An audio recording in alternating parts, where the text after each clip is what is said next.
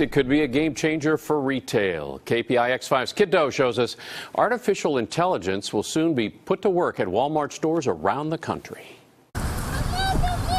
For a glimpse of the future of retail, we head to Walmart in Milpitas. The company is launching a small army of autonomous scanning robots. That's a nice one. It's so cool. It's about six feet tall, equipped with an array of lights, cameras, and radar sensors. It goes up and down each aisle on its own, about two to three miles per hour, scanning the shelves for empty spots and also checks the price tags. Because the robot uses LiDAR and other video cameras, what it actually sees is very similar to what self driving cars see. The three dimensional world it sees is detailed enough for the algorithm to figure out what's missing and needs restocking.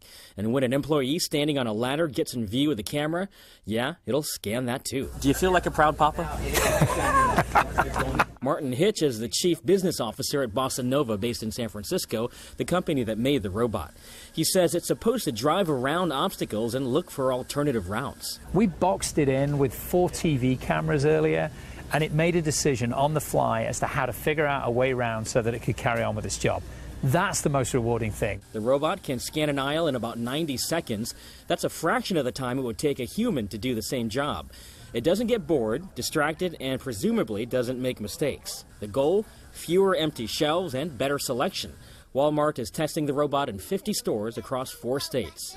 Wow. So is that taking somebody's job? It's not taking somebody's job. It's, it's designed to improve the job. Deborah Espinoza is skeptical. She works at San Jose International Airport and says when automated checkout was introduced there, cashiers were laid off. Uh, Walmart says that they are freeing up their associates to provide better customer service. You buy that?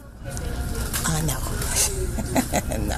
Walmart says it's still too early to say how the robots will impact their workforce. Because technology changes the types of jobs that we have, but nothing will replace um, customer service and human interaction and being with other people and being serviced by a human. In Milpitas, Kit Do, KPIX 5.